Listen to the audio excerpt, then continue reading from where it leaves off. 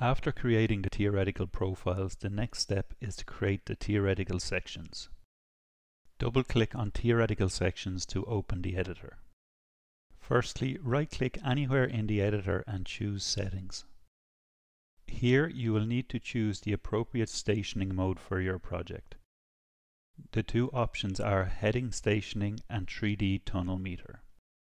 Heading stationing is the stationing value as derived from the horizontal alignment, whereas 3D tunnel meter is the stationing value derived from the vertical alignment. This figure illustrates the concept. Notice that the 3D tunnel meter values in red are different to the heading stationing values in black. I will go ahead and leave the stationing mode at heading stationing. As with the theoretical profiles, we can import theoretical sections from a file or we can create them directly in the editor. I will go ahead and manually create the first section by hitting add. In Amberg Tunnel, under section type, you can choose to have a constant theoretical section or an interpolated section. A constant theoretical section will occur when the starting and ending profiles are the same type. If your design has a different starting and ending profile for a given section, you should choose interpolation between the profiles. When you choose this section type, you need to specify the starting and ending profiles. Depending on how similar or dissimilar the profiles are, the interpolation method chosen by Amberg Tunnel will vary. The software will first attempt to perform a linear interpolation as this is the preferred method and produces natural results. For linear interpolation, it is important that the profile have the same number of segments. You also must ensure that the starting segment matches between both profile sets and the order or sequence of the profile segments match.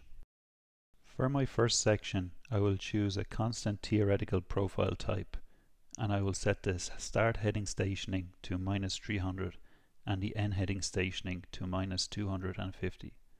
For the profile I will choose excavation type 1. At this point we can already start to see what the tunnel is looking like in 3D view. Click on the 3D tab to view the results of the first segment. A useful tool here is to click on axis point and then attach a camera to the axis.